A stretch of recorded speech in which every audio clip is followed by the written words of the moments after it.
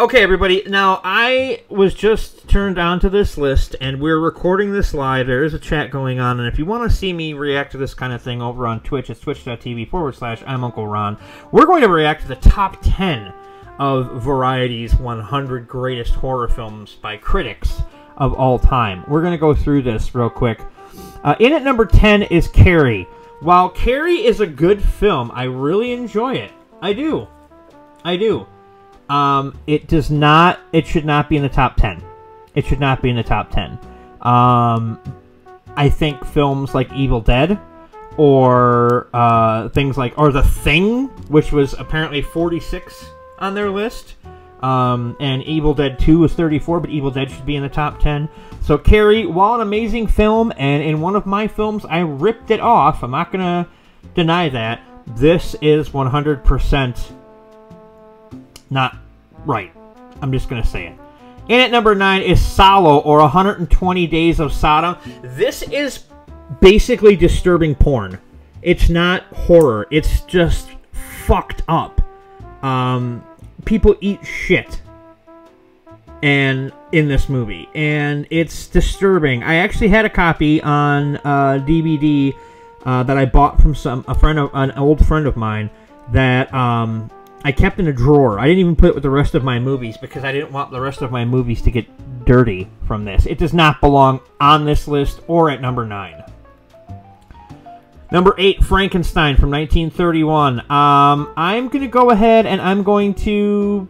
I'm not sure if I would put it at 8, but it definitely belongs in the top 10. So I got no argument with uh, uh, the James Whale uh, Frankenstein. Um, audition, no if you're going to put it on this list, you have to put it way, way, way, way further down on the list. Just because somebody gets stuck with needles and gets all sorts of other fucked up stuff happening to them, Audition does not belong on a top 100 list uh, of greatest horror movies of all time. I'm sorry. I'm I'm just going to argue that it doesn't belong there. There's and, and, people can say, well, why not? There's thousands upon thousands of horror movies where this could sit. It doesn't belong in the top 100 greatest of all time. And if you're an audition fan, I'm sorry. I'm not saying it's a bad film. It just doesn't belong. Uh, and then we go down to number six, Night of the Living Dead. I kind of don't have a problem with this.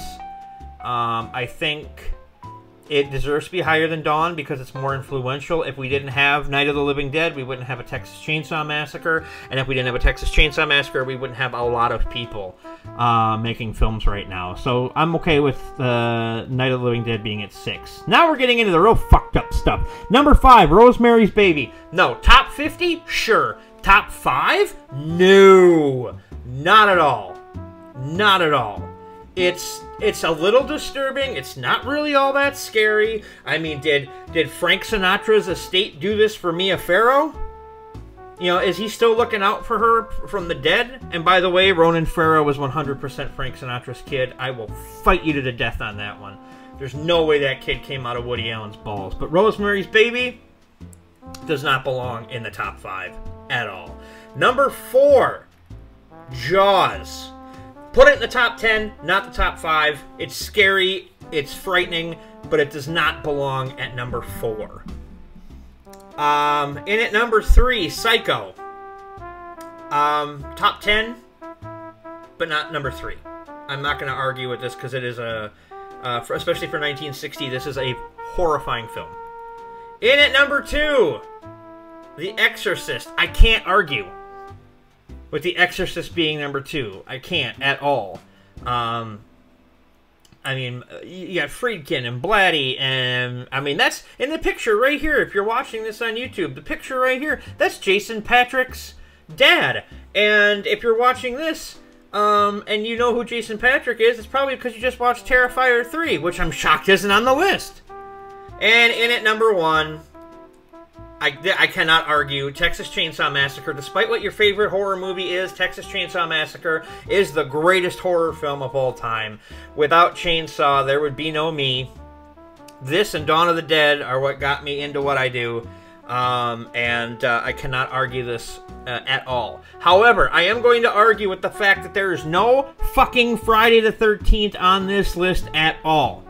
If you have a problem with part one, I get it. But part two is just as good, if not better. Part four is amazing. And you've obviously made the decision that it's okay to put sequels and remakes on here because you put Hostel 2 and you put Human Centipede 2.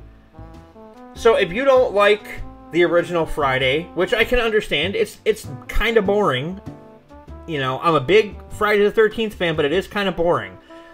Part 4 is amazing, Part 2 is amazing, Part 6 is amazing, and you're obviously okay with putting stuff like Human Centipede and Hostel, which are visceral uh, experiences in gore with little to no story, whereas Friday the 13th has a story going on throughout all the movies. It's a constant storyline.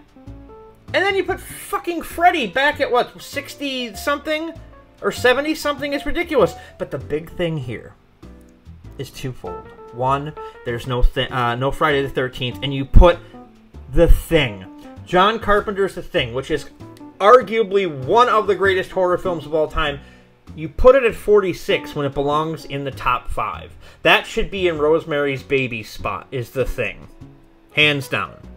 I mean, you put uh, 28 Days Later at 42 above The Thing. You put Hereditary above The Thing. Um, it, it just doesn't make any sense. So, uh, what do you think about this list? Uh, where do you think things should have ended up? Uh, leave a message in the comments. Uh, hit me up on social media at I'm Uncle Ron. Don't forget to like and subscribe and share this video. And let's get a discussion going here. Let's go. Let's show variety that whoever their critics are. No, just no. We'll see you next time, everybody.